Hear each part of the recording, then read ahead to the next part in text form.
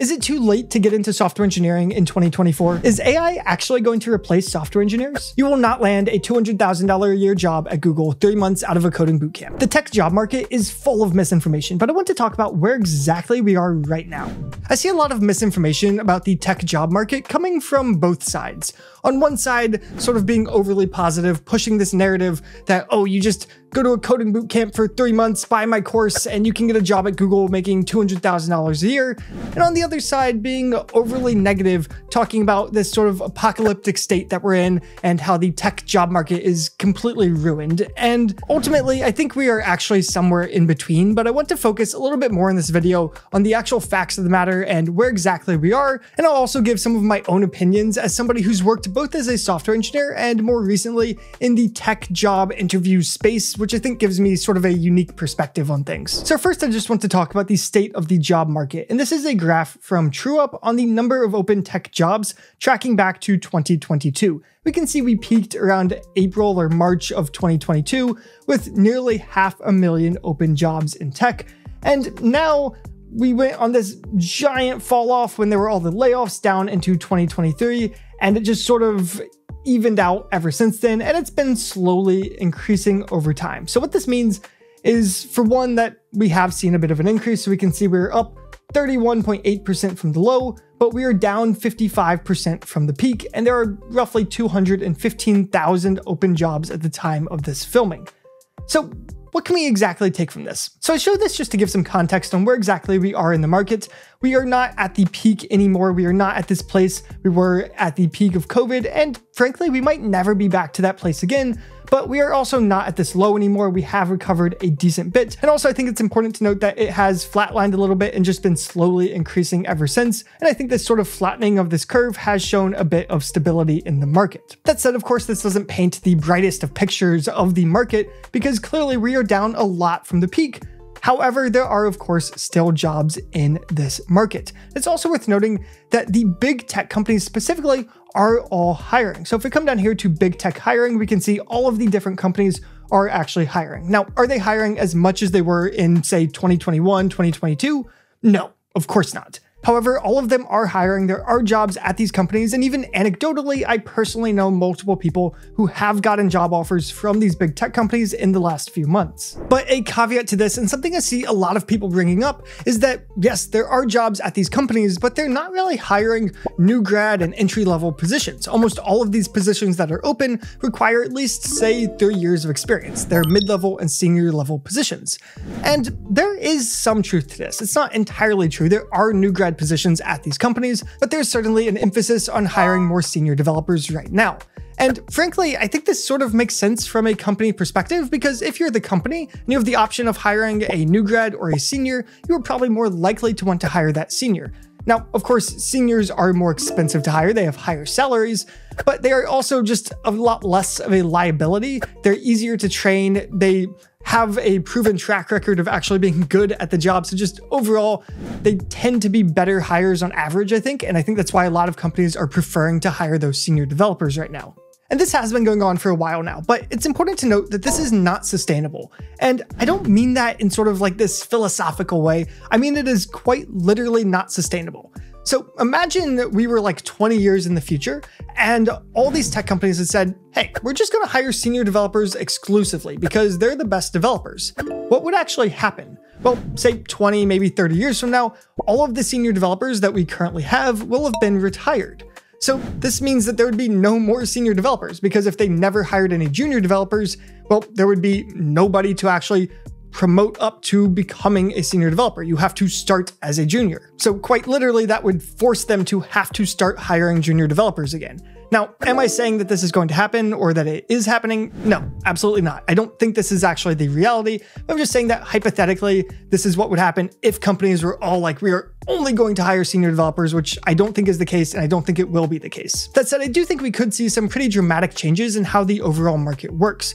For example, we could end up with a system similar to what airlines and pilots have, where most pilots are going to start their careers at these smaller regional airlines, and then they're going to work their way up to the higher paying, bigger airlines like the Deltas of the world. We could have something similar where most software engineers coming out of college or boot camps are going to start at these smaller startups that don't pay quite as well, and then they can work their way up as they get more experience and get those jobs at the Googles and Facebooks of the world. And again, I'm not saying that this is happening or that it's going to happen, just that it is sort of a possibility. It is one potential hypothetical to consider. But thinking sort of more concretely, what exactly should you be doing right now in this current market? Well, first of all, if you are a mid level or senior developer, lucky you because this market was sort of built for you and it's sort of a standard market very similar, honestly, to how it was pre COVID. Maybe not exactly the same, but it is pretty standard, and I wouldn't worry too much. But then what about the new grads, the current college students, the bootcamp students, or even if you're trying to self-teach? What should you be doing? Well, for a lot of you, you might want to first just consider the question of, should I even go into this industry to begin with? Is it even worth it to go into tech right now, given that AI is improving so quickly and the job market does seem a little bit bleak, at least compared to what it used to be? And starting from the AI front, honestly, I wouldn't be too worried about it. I don't think we are at some place where software engineers are getting replaced, and I don't think we'll be there for a very long time, if ever. And you can see this by looking historically back at other trends we've had in tech. Lots of things have happened that have made software much easier to build. For example, at one point we were using literal punch cards, and then we developed things like high-level programming languages. We developed things like C and C++, and eventually languages like Python that were much easier to write. We also developed things like IDEs that helped us in writing the code itself and tons of other developer tools. And with all of these things, what actually happened? Well, the industry continued to grow and we continued to hire more and more software engineers every single year. And this seems sort of paradoxical. We built all of these tools that made software engineering more efficient. That means maybe one software engineer could do the job of five software engineers in the past. So that should mean that we should have far less software engineers. But that's not actually the case. What this meant was that there were all of these different things that previously we could not build, either because they were sort of technically impossible to build with the tools we currently had, or they were just financially infeasible, and they became feasible. They became things we could actually build. So we had more and more companies that were coming up and building these new things because software became cheaper to build and it became easier to get into this industry. And I would expect AI to do something similar. It's going to make software much more efficient to build. It's already sort of started to do that, but I don't think that means it's replacing software engineers. I think it just means it's going to unlock lots of new potential for software we can build that previously would have been impossible to build again, either because it was just sort of technically too complex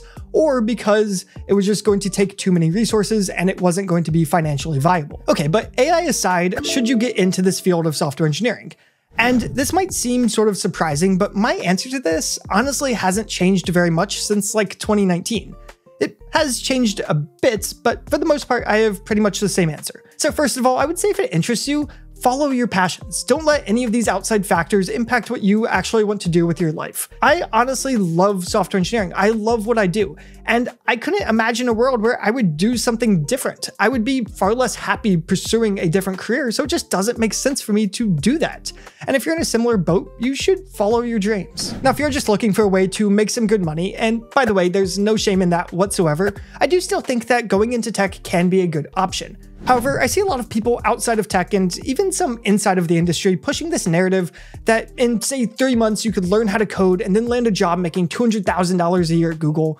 And frankly, this is just very incorrect. It is dangerously bad misinformation. It's just not something that's actually going to happen. It's based in some facts, but it is not a realistic expectation that you can have. For example, this is levels.fyi, which is a very good website to see the different salaries in tech, and in my experience, it's actually pretty accurate. And this is Google's software engineering salaries. And you can see L3, which is their entry level, so this is what a brand new graduate out of college or even a coding bootcamp would get is averaging $197,000 as total compensation with a base salary of 150, 35k in stock and about 11,700 in bonuses. So there is some truth to this idea that a brand new developer can make about $200,000 a year working at Google. And there's also some truth to the fact that you can learn how to code in like three months. There are some coding bootcamps that take about that amount of time, and there are lots of programs that you can use to get some level of proficiency in coding in three months. These things don't all connect. Just because there are jobs at Google for new developers making $200,000 a year, and just because you can learn how to code in three months doesn't mean if you learn how to code in three months that you have a high likelihood of getting a job making $200,000 a year at Google immediately after that because that's just not going to happen. Google and all of these companies that pay very well are able to be very picky about who they actually hire because lots of people want to work for Google. So if Google is considering somebody who's been coding for three months or somebody who just got a four year bachelor's degree in computer science from Stanford, they're going to hire the person from Stanford. That's just the way it's going to be. There might have been a point where all of these companies were hiring so much that the hiring bar fell a little bit and that they were considering different people from all of these different backgrounds. And of course, there are going to be some occasional stories of somebody who goes to a coding bootcamp and then lands that job at Google making 200K. I'm not saying it doesn't happen, but the vast majority of the time, it's not going to happen because the hiring bar is very high and they're just going to choose the people who have the most credentials, which are going to be those people with the four year degrees. Now, again, I'm not saying it's impossible to get one of these jobs at Google because it absolutely is possible, but we just need to have realistic expectations. You're not going to go from never coding to a three month coding bootcamp to a job making $200,000 a year at Google or any of these big tech companies. It's just not a realistic expectation. Now, maybe with a good work ethic, a bit of luck, and honestly, honestly just being geographically located in the right parts of the United States, you could over time work up to one of these jobs, right? You could go to a coding bootcamp for three months, then maybe spend a few months after that doing some self study, studying for coding interviews, and then land a job doing some kind of development work. It's probably not going to be a super glamorous job. It's not going to pay astronomically high salaries, but you could land a decent job at that point, and then you might work at that job for a year or two, maybe do some job hopping, and eventually end up at one of these FANG style jobs at Facebook, Amazon, Google, etc. But just know it's not a get rich quick scheme, and there's a reason that the vast, vast, vast majority of these software engineers at these big tech companies and all of these very high paying companies in Silicon Valley and New York are coming from bachelor's degrees in computer science at top universities. And that reason is simply because there are enough candidates coming from those places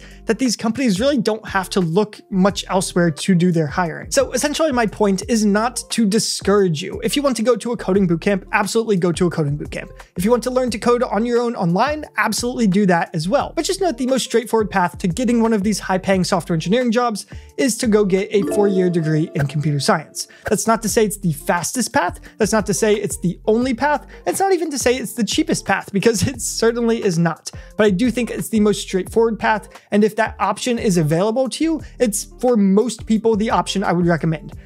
It's not the option I'd recommend for everybody, and you need to understand your own circumstances. But for many people, I do think that is still the best option. And again, to be extra clear, there's nothing wrong with going to a coding bootcamp or self teaching. Just please try to avoid being sold these false promises and false hope and thinking that something's going to happen when it's probably not going to happen in that way. And from a very high level, my opinion is essentially this. First of all, on the AI front, AI is not going to be replacing software engineers anytime soon. And AI being good at software engineering isn't even really a unique thing. AI is good at lots of things. We've just sort of put the most emphasis on software engineering, but I would even argue that in this case of some AI replacement, which by the way would happen very slowly and gradually, it's not going to just be snap of a fingers one day, all jobs are gone, but in that hypothetical scenario, I think software engineering would actually be one of the most resilient jobs because who do you think it is that's making all of these AI tools? It's the software engineers. They're the ones who are needed to build the AI and to integrate it with all these different companies. So I think that we would actually see a lot of replacement in other fields before we would see it in software engineering. And if you're in college studying computer science or at a coding bootcamp or just self-teaching, realize that learning how to code is still one of the most valuable skills in the entire world. And I don't think that's going to change anytime soon. And the saying goes that comparison is the thief of joy, and it's easy to compare your situation to that of, say, when I graduated college back in 2020, which was much easier to get that first job as a software engineer.